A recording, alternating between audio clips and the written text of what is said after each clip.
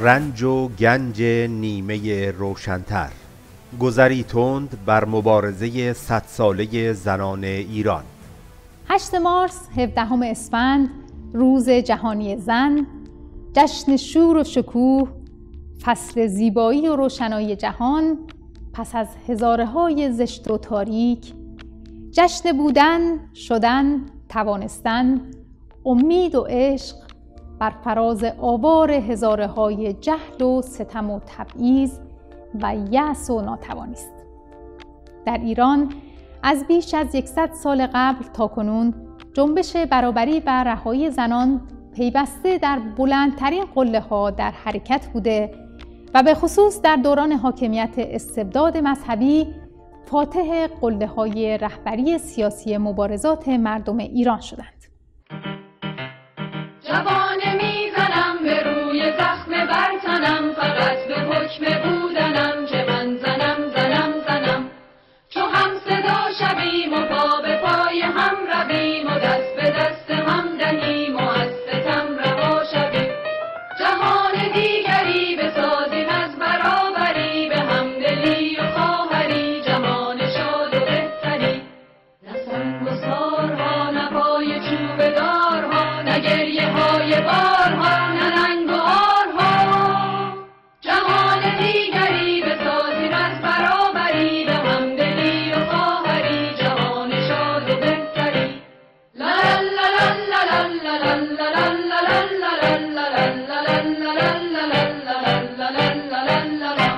صدا صدای آزادی است. این ندا طغیان آگاهی است.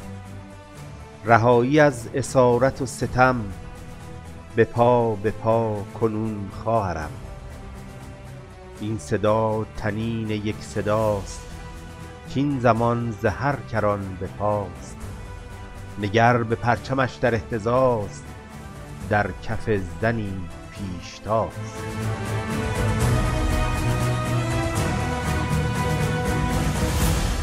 پیشتازی زنان در قیام آزادیخواهانه مردم ایران از یک سابقه حداقل یکصد ساله برخوردار است. کارنامه شاهان قاجار در سرکوب زنان بسیار سیاه است. آخوندهای مرتجع مانند شیخ فضل الله نوری هم به ستم علیه زنان لباس شرعی می و زنان را به پستوی خانه ها می راندند. اما زنان به پا خواستند و علیه حاکمان زن ستیز شوریدند. ویلیام مورگان شوستر مستشار دولت مشروطه در کتاب اختناق در ایران به سال 1912 میلادی نوشت از سال 1907 زنان ایران تقریباً به مترقی ترین زنان جهان تبدیل شدند. مورگان شوستر تنها در تهران دوازده انجمن زنان درگیر فعالیت‌های مختلف سیاسی و اجتماعی بودند. به نوشته روزنامه حبل المتین در یکی از این نبردها با قوای شاه در تبریز جسد 20 زن در لباس مردان پیدا شدند. در فاصله سالهای 1321 تا 1331 با سقوط رضاشاه و بروز جنگ جهانی دوم فضای نسبتاً باز سیاسی در ایران به وجود آمد که برای زنان فرصت خوبی برای شروع مجدد فعالیت‌هایشان در صحنه سیاسی بود. عمر دولت دکتر مصدق تنها دولت دموکراتیک بسیار کوتاه بود. با این وجود زنان در سال 1331 صاحب حق رأی شده و در شوراهای شهری انتخاب شدند. اما آخوندها و جریانات ارتجاعی مانع اصلاحات مصدق در این زمینه می شدند. بر اساس فرهنگی که آخوندها رایج کرده بودند زن عامل گناه و فتنه قلمداد می‌شد و میبایست در زندان خونه نگهداری بشه. از سالهای چهل به بعد خمینی در رأس همه مرتجعین در برخورد با مسئله زنان به خوبی عمق متعفن ارتجاع قرون وسطایی رو به نمایش میگذاشت. دخالت زنان در انتخابات یا اعطای حق زنها یا وارد نمودن نیمی از جمعیت ایران در جامعه و نظایر این تعبیرات فریبنده جز بدبختی و فساد و فحشا چیز دیگری همراه ندارد.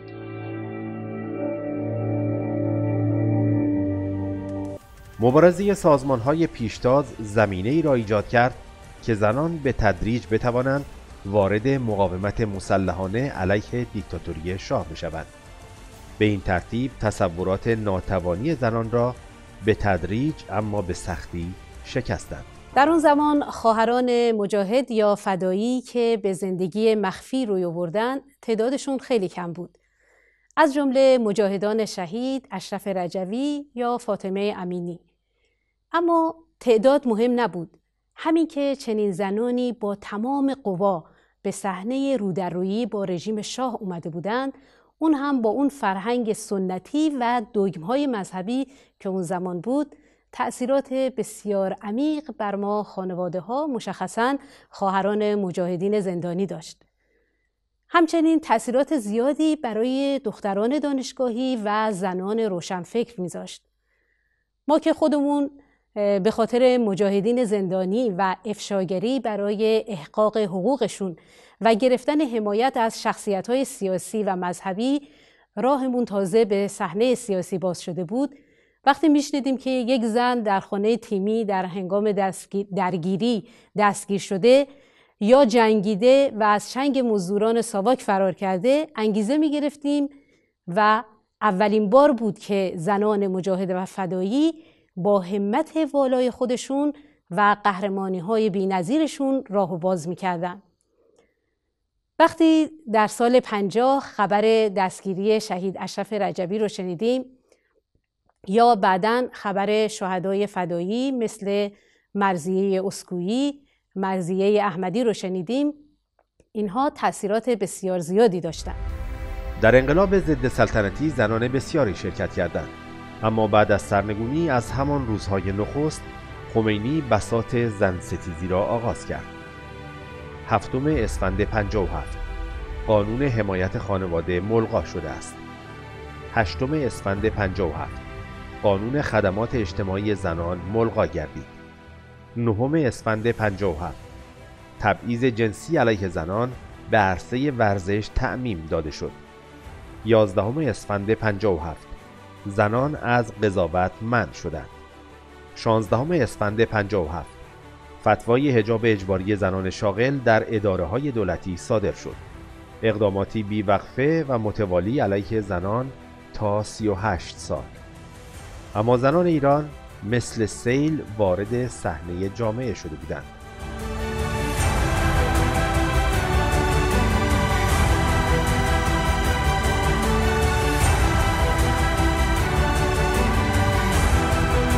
ما با اینکه خودمون روسری داشتیم بارها در برابر تهاجم چماقداران به زنانی که روسری نداشتن میستادیم اولین مجلس بعد از انقلاب بهمن 57 سازمان مجاهدین با تمام قوا در انتخابات شرکت کرد.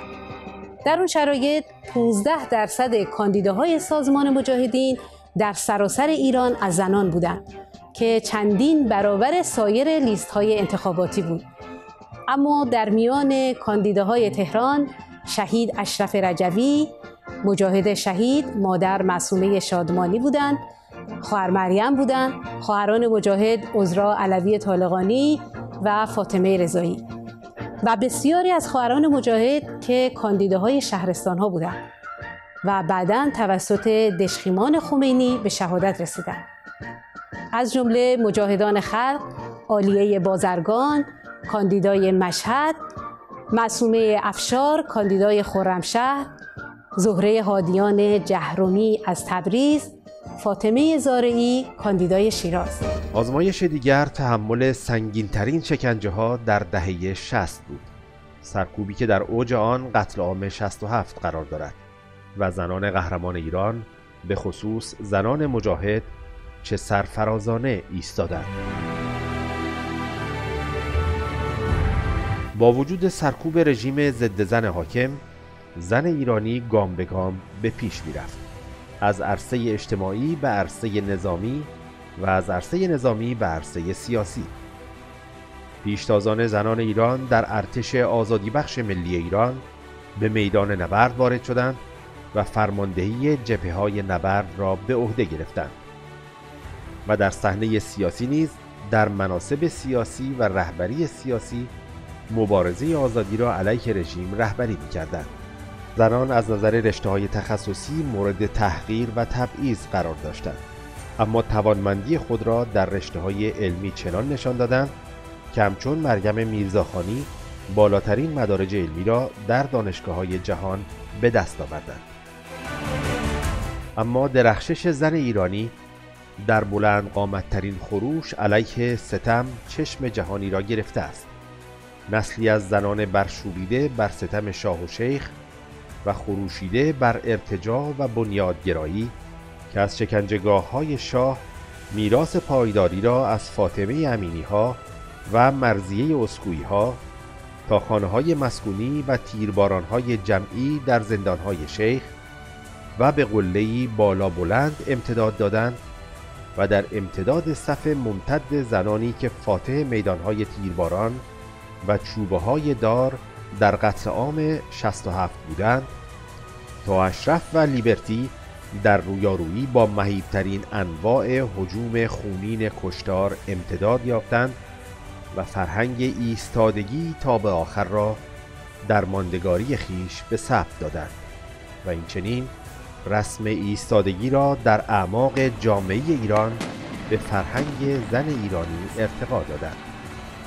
در حضور چنین پشتوانه ای از زنان پیشتاز در مقاومتی به خون سرشته است که اکنون در های شهرهای ایران زنان ایران در صفوف جلو علیه دیکتاتوری می خروشند و با خروش مرگ بر خامنه ای پایه های حاکمیت دشخیمان امامدار را می لرزانند. دلاوری های زنان پیشتاز در پایداری اشرف و ایستادگی های سباهای بدون سلاح با دست خالی در برابر مزدوران تا دندان مسلح خامنه ای این چنین در سراسر میهنگل می دهد و به بار می نشیند و نوید قطعی مرگ دشخیمان است. نه آخه باید سرم بزنه اینا بیا. بیا اینجا اینا گلوله. در چنین زمین باروری است که مادران و خواهران شهیدان ها و اسیران و زندانیان سیاسی با اعتراضهای خود آتش خشم مردم را برافروختند و به رغم آنکه 82 تن از اعدام شدگان در دوران روحانی زن بودند اما زنان در صفوف مقدم علیه دیکتاتوری میخروشیدند. و در قیام اخیر زنان با فریادهای خود مردم محروم را به قیام فراخواندند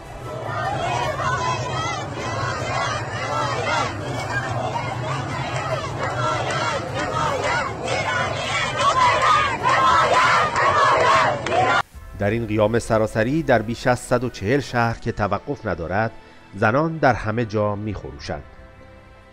در دومین روز اعتراضات یک زن در شهر همدان در میان حلقه ای از ماموران امنیتی ایستاده بود و فریاد کشید مرگ بر خامنه ای این اولین بار بود که کسی این شعار را می‌داد. وی این شعار را دو سه بار دیگر تکرار کرد.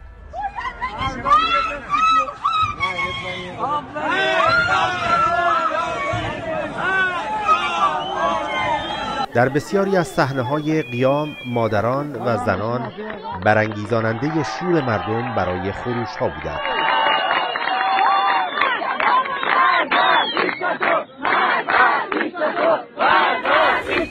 در تهران دختران و زنان جوان در دانشگاه تهران فعالانه به خروش برخواستند در هر خیزش دهها زن از سوی نیروهای سرکوبگر مورد ضرب و شتم قرار گرفته و با خشونت دستگیر می شوند. اما این گونه مردم را به خیزش فرا می‌خوانند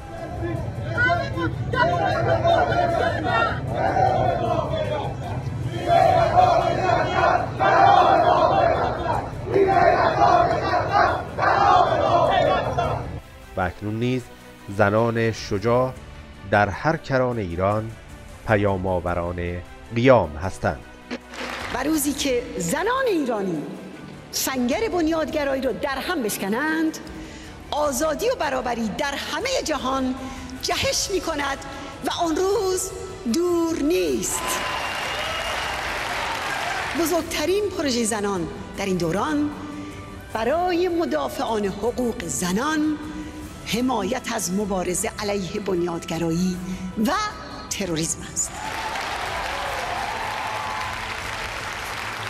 هر فعالیتی برای دفاع از زنان دستگیر شده و هر تلاشی برای افشای شکنجه زندانیان بکنید و هر کاری برای واداشتن دولت ها به قطع رابطه با رژیم آخوندی انجام دهید بسیار بسیار اثرگذار خواهد بود.